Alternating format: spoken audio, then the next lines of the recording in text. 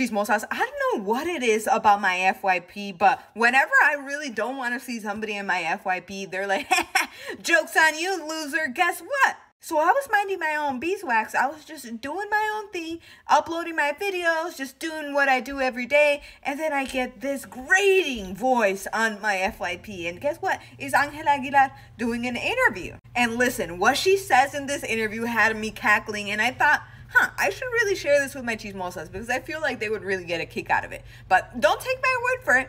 Let me show you the clip. Todo se puede en la vida, excepto la gente que está casada. No te juntes con gente casada. Eso es malo.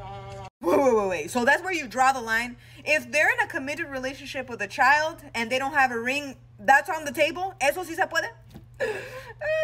Now, before I go any further with this video, if you didn't understand, if you need a translation, she basically said you could do anything in life except be with somebody that's married. Don't do that. Don't get with somebody that is married.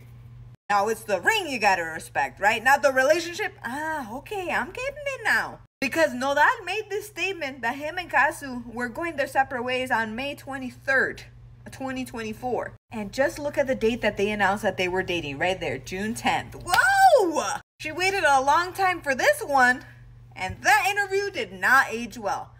And I'm telling you guys, I don't look for this stuff. Half this time, people send it to me, or it gets put on my FYP. And what am I gonna do? What am I gonna do? Roll my eyes? Yeah, that's what I do. But I want to share with you guys because I love you guys. But anyways, guys, I'm very curious to know what you guys thought about that little clip. Let me know down below in the comments, and don't forget to like and follow for more gossip, cheese and all things tea.